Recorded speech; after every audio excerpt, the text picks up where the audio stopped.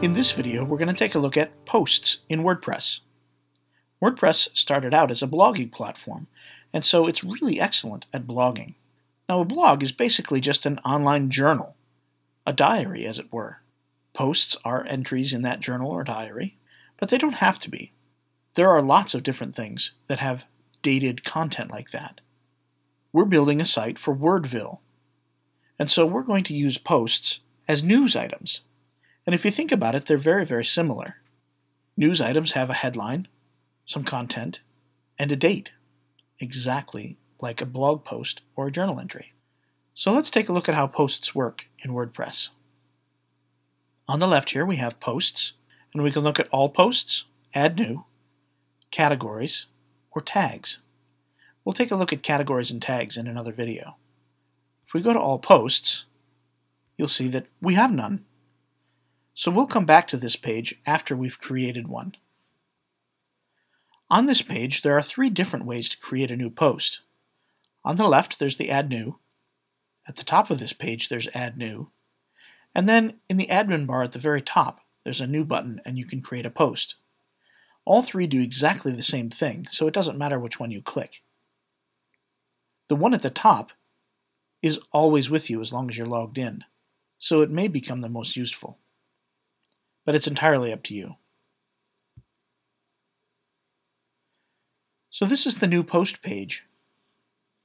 Right at the very top, we can enter a title. Now I have some news written up, so we're going to use that. Now once I click out of the title, you'll note that it creates something called a permalink. And this is the address for the site. You'll note that it's kind of ugly, with p equals 18 and preview equals true. The preview equals true is only there because we haven't published yet. Let's publish now. And now it says question p equals 18. That's actually a pretty terrible URL. It doesn't mean anything to your readers, and it doesn't mean anything to Google. So right here next to it is a link to change permalinks. Let's do that. That takes us to the Settings Permalinks page. And here are our options. The first one is what we had. Then we can choose day and name, or just month and name. We could choose numeric, which isn't much better than the first one. Or we could choose post name, which is what we really want. We could choose custom structure and just make something up. But that's not very useful. So let's click post name and you'll note that custom structure actually holds what we chose. And if we choose any of the others, it changes. That helps you know how to build your own custom structure if you want to. But we'll choose post name and go to the bottom, and we'll come back and look at this optional stuff later. So now I'll click Save Changes and close this tab. And now if I reload this page, you'll see that we have a much more readable, attractive permalink. We could change it by clicking Edit, but we really want to leave it related to the title. Now if you changed the title, you could come in here and delete it altogether and hit OK, and it would make you a new one. That can be handy.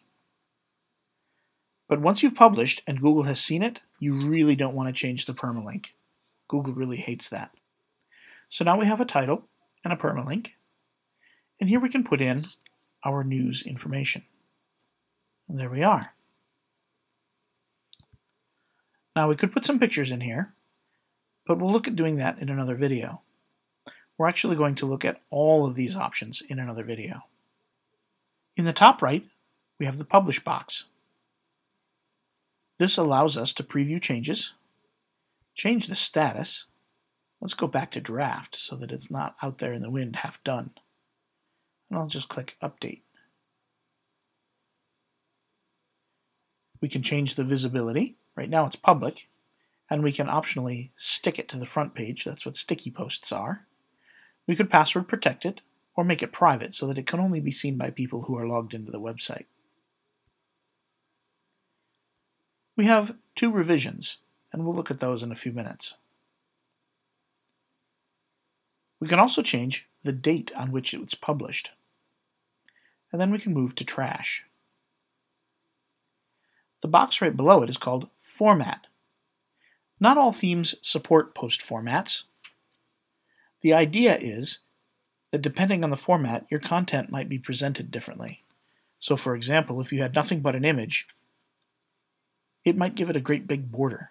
Or if you had nothing but a quote, it might make the text extra large. We'll leave ours at standard. We can also do categories and tags, and we'll look at those in another video. And then we have featured image. With featured image, you can associate an image with this post. It doesn't put it in your post, it merely tells WordPress that the picture is related. Then your theme can do whatever it wants with your featured image. It might put it at the top, it might put it at the side or the bottom. It's entirely up to the theme. So you should experiment and see what it looks like for your theme. Here we have the revisions box.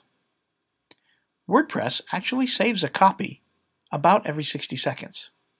So that if your computer shuts off, or you lose your internet connection, or your tab gets closed, your post is still here, and you can come back and get it. It also makes a revision every time you publish, as long as it's different.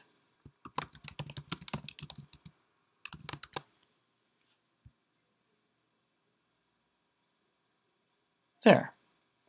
Now, you can click one of these dates and go back to your post the way it was then. We'll look at that in another video as well. Here we have the excerpt box, and an excerpt is exactly what it sounds like. It's just a little bit of your post. By default, WordPress uses the first 155 characters of your post as the excerpt, but this box allows you to write something else, something that does a better job summarizing your post. The first 155 characters often don't adequately summarize your post. Now I want to show you something else here at the top on the right under Screen Options. You'll see that there are some other things here. There's Send Trackbacks, Custom Fields, Discussion, Comments, Slug, and Author. Let's take a look at those real quick. And you'll see that they've been added here at the bottom. A trackback is a URL from another site that you're writing about. And if you put that address right in here, then when you post, it will send a message to that other site to let them know that you wrote about it. Trackbacks aren't very common anymore, but some sites still use them. Here we have custom fields. If this were a book report, you could write something like title and the title of the book and click Add Custom Field. The problem with this is that not all themes support custom fields, and these may not get rendered on the front of your site at all. In that case, they're not very useful. But if your theme does support them, then they can be very useful. Next, we have the discussion box. In the settings, you can enable or disable comments for the entire site. This box allows you to override that just for this post. So if they're off everywhere, you could turn them on here. Or if they're on everywhere, you could turn them off here. And you can do the same with trackbacks and pings. The comments box actually shows comments that are related to this post.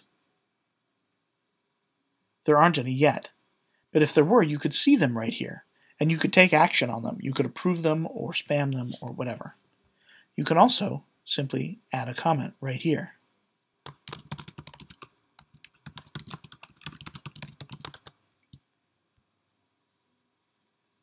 And there you can see the comment. Now the slug is part of the address. If we go back up to the top, you can see it's right here. And you can change it here as well as at the top, but I really don't recommend it. Then you can set the author of this post. This is particularly useful if you are posting for someone else.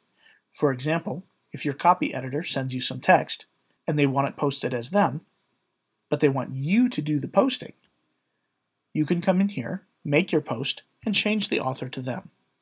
And when you're all done, we can simply update.